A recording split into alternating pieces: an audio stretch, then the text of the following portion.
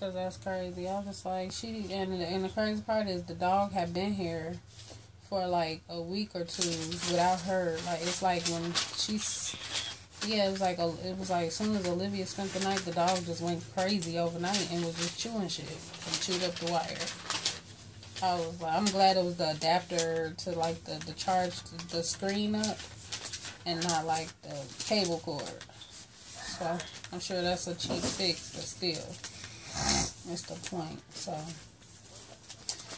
I just think it's just things gonna turn around for the good, and I think I just need to just stay focused and find my resources and stuff.